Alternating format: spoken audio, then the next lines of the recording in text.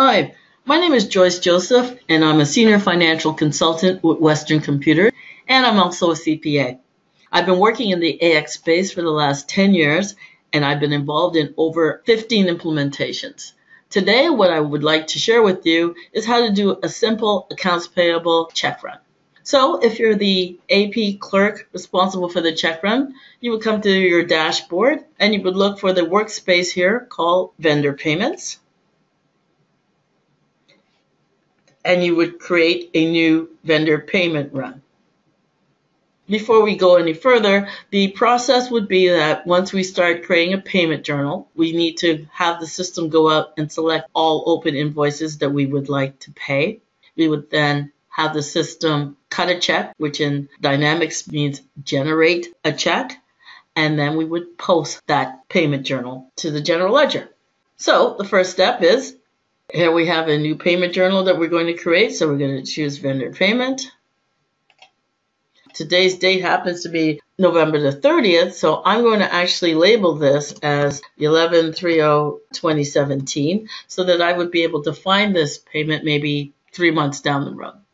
So I'm going to go in, and as I mentioned, the first part is that we need a payment proposal.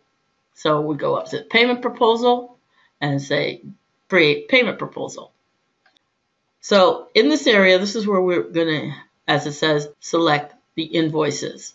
So the best way to select invoices I always use is the due date and cash discount date. So we have that selected. And from my last time I ran payments, I was looking at invoices that were created between June 1st, 2017 and today's date. So that criteria stays with me and I can change it accordingly. The payment date, that's the date of which the general ledger payment journal would be using for posting. So as I mentioned, today is November the 30th.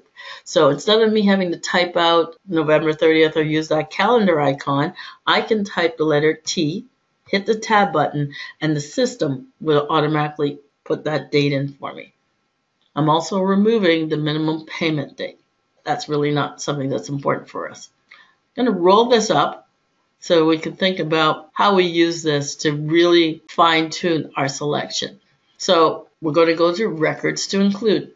You'll notice that I've already filled out the records to include that basically it's saying that I want vendors number 001, 002, and 111. And of those vendors, I only want to make sure that their method of payment is checked on any open invoices. So how do I do that? In order to understand how I was able to set the criteria, I went to filter. And there are a number of criteria here, such as vendor. And I selected the vendors. I entered the vendor numbers that I wanted. Then I went down to method of payment and I selected the various methods of payments from the drop down. And you can see that if I wanted, I could select also on currency. And if there's a different line here that you need, there's this add button here and you would be able to add another criteria.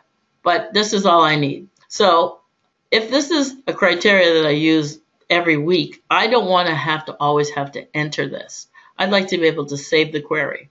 So the way you do that is go up to modify here and say save as, give it a name, something like test one, and hit OK. Now it's going to be in the listing of queries. You'll notice that I probably have some other queries in here, another special vendor and test. So you can see that other queries are available so that I can easily use them when I want to without having to re-enter everything. Okay, so basically this is how I got the selection that I want. I'm going to hit the OK button and I'm going to roll this up again and just let you look at the advanced parameters. And this is where I'm going to be able to select that I only want the payment currency being a certain currency, US dollars. The payment has to come from bank, and the bank is the operating account. So I'm going to hit the OK button. All right, so here's your vendor payment proposal. And it has selected three different vendors because it's three vendors that we selected in our proposal. What the system has done is gone out and identified all open invoices and any debit memos also that are open and brought them back for us to review and edit. So looking at the JJ Co vendor, I'm reviewing this and I see two large invoices that I'm really not certain about wanting to pay. So the 20,000 and the 30,000, I would actually like to remove from the payment proposal. So I hit the remove. The system asks me, am I sure about that? I say, yes, I am. And now this is what's left. Again, if there's anything else you want to remove, you can continue. So the next step is to now move this into the payment journal. So this is where it says, you go down to the bottom here and you say create payments. So it's going to move that to the payment journal. And you get some information telling you that the operation is complete. So close that out. And now you'll notice that there's only three lines for each one of the vendors that I've selected. And the reason there are only three lines is that when you use a method of payment check, it has been set up that there is one check for all open invoices in a pay run. And that's why this has been grouped this way. So the next step is that yes, we have a method of payment check, but the payment status is none. We need to get that updated to sent and we need a check number assigned. So step two is we need to generate payments. So go up here, at generate payments. Make sure your method of payment has said check and make sure your export format says check and select what bank account that you're using. And then we'll hit the OK button. This system has been set up that we're using pre-printed checks. So as a result, in the operating account, the next check number the Dynamics believe should be used is 430.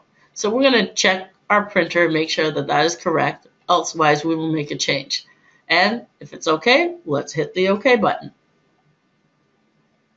You'll notice that I get an error message saying it can't find my printer. The reason being that I'm using a demo and it's not attached to a printer. But the important part here is that we have check numbers that have been assigned.